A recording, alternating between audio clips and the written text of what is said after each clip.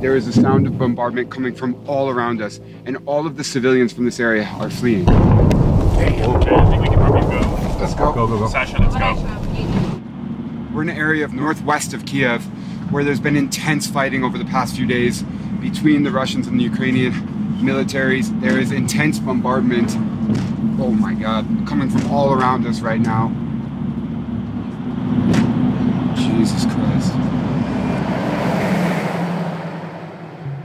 Ее цель – защита людей, которые на протяжении 8 лет подвергаются издевательствам, геноциду со стороны киевского режима. И для этого мы будем стремиться к демилитаризации и денацификации Украины. After months of amassing more than 100,000 troops on the Ukrainian border, Russian President Vladimir Putin ordered an invasion of the country from multiple directions.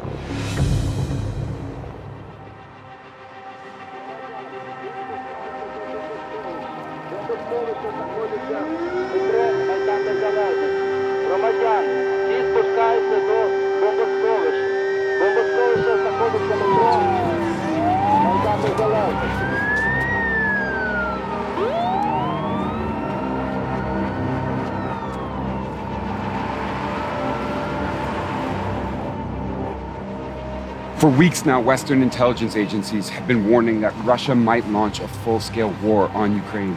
But few here believed it could happen. However, this morning, after around 5 o'clock, Russia began airstrikes across the country, and there are air raid sirens going off right now here in the heart of Kiev.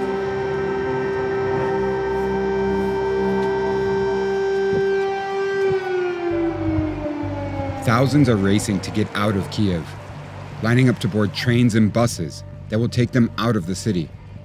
Did you ever expect that you would have to flee Kiev with your family? было очевидно, что агрессия будет, ну, потому что все к тому шло уже много лет, и только наивный дурак не понимал, к чему это все приведет. В принципе, мы вещи собрали уже 15 числа. И тут только ждали, когда начнется. What do you think will happen next? Що ми можемо? Ми можемо стояти, ми можемо тримати це разом. А, в нас є армія, в нас е, діє влада, в нас є президент, е, парламент. Ми будемо жити.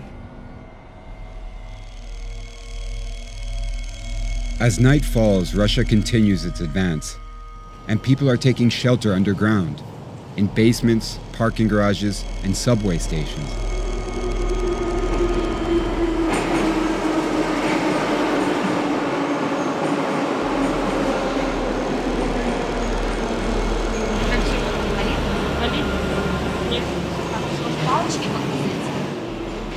27 year old Christina Mazurchik works in a jewelry store. She tried to take shelter in a subway station close to her house, but it was completely full. So she's come here to the Khreshchatyk station with her mom and sister. Сьогодні зранку я повинна була їхати на роботу, але телефонує мені мама говорить, мені дуже страшно, прийди до мене. Ми не знали, що залишатися вдома чи що робити, і вирішили піти в метро. Щоб якось себе може сховати, не знаю. Нічого такого подібного взагалі. What do you think is going to happen in the coming days? Сподіваємося, що повернемося додому. Там все буде добре.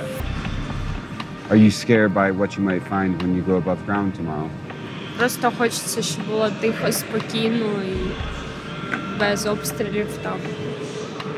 Навіть якщо там будуть там якісь руїни, то це все можна переробити, це все таке набути буде з часом. Нічого такого, але щоб просто всі відступили і все було добре.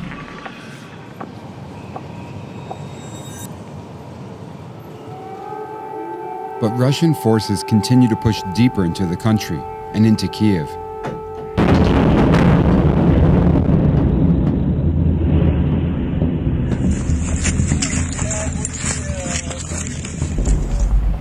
This apartment block was struck by a rocket from fighting a few kilometers away. Six people were injured.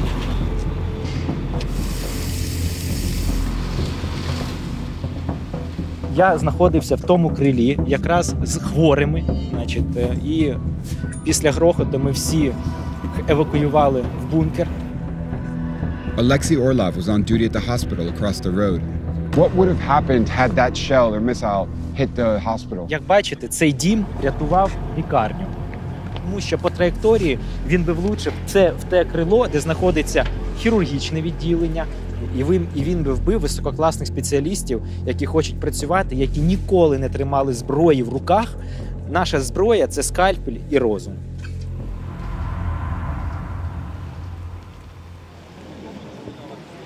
But other Ukrainians are taking up arms. So we're here outside this building in Kiev that the government is using as a distribution point to hand out weapons to, well, anyone who wants one, so that they can use them in the fight against the Russians. On the day of the invasion, these two friends, one a software engineer and the other a biochemist, decided to join the Territorial Defense Force, an all volunteer group within the Ukrainian military. Russians have enslaved this land since, I don't know, at least 16th century. They've made their best to suppress our language, to suppress our culture, to prohibit printing books in Ukrainian. And now they want to overthrow our state. Like, what other choice do we have? It's pretty obvious. Ukrainians have suffered a lot of casualties so far. Aren't you afraid that you might be one of them? They're hitting buildings where civilians are living. So we're in danger everywhere. And the only option that we have left is to fight back and take as much of these bastards to hell as we can.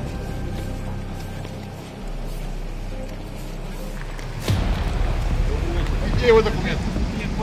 Ты откуда? Я вообще родился в Донецке. Ну, я Приписка понял, Донецк, Рюкзак. загнув, голову нагнув, ноги поставив. Рюкзак, давай посмотрим. The volunteer groups are setting up checkpoints all across the city. We're here at this checkpoint, and these territorial defense forces are suspecting that someone might be over there. They've taken up position.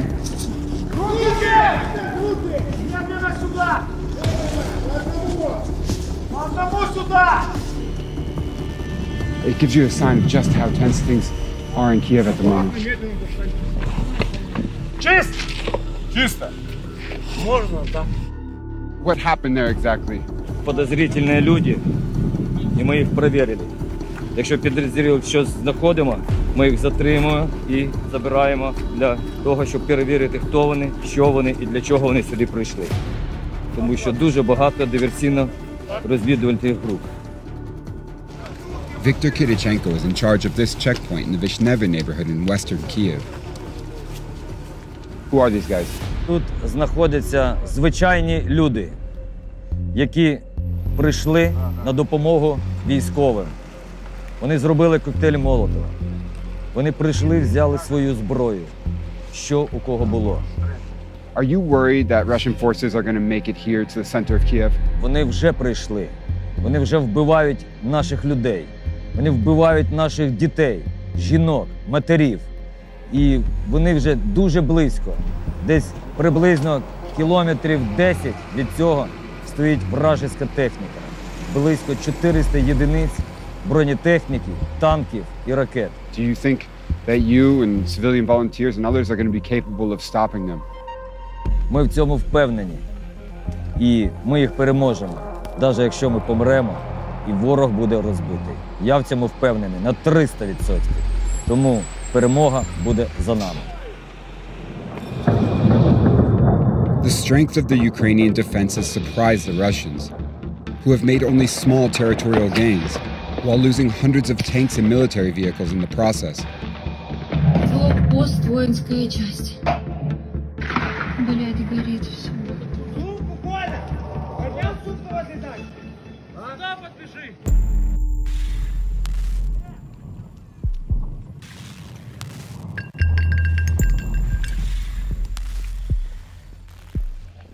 Just over there are at least three military vehicles that have been absolutely destroyed. The Ukrainian soldiers told us that they belong to the Russians who tried to come down this road this morning when they were met with a fierce resistance from the Ukrainian military here.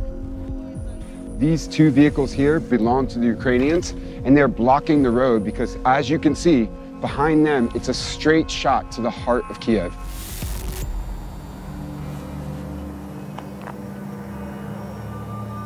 О другій ночі було чути гради. Оцей дом, цей дом, отак от весь ходив. Він десь перш, оцей перший десь йшов кілометрів в час 70 до 80. Бистро, щоб туди проскочить. Ну, хлопці не дали йому проскочити. Відкрили зразу огонь. So, are you optimistic that the Ukrainians can stop the Russian advance? Можу. Даю на, на 90% то, що ми їх отут всіх лишимо, якщо будуть йти. Всіх отут там. But it's unclear how long the Ukrainian defenses can hold. 40 mile column of Russian tanks is heading directly for Kiev. People in the city are bracing themselves for a full scale Russian attack. Where have you been staying since we last saw you a few days ago? В метро так и оставались, мы никуда не выходили. Тяжеловато, морально хочется на воздух и очень холодно. Мы держимся, выхода нет, там более безопасно, чем дома. What do you think is going to happen here? То, что все закончится, но такие прогнозы, что Путин не остановится. Назад дороги уже нет. Хочется надеяться на лучшее. Я надеюсь, что мы победим вместе этого злого, ужасного человека-убийцу.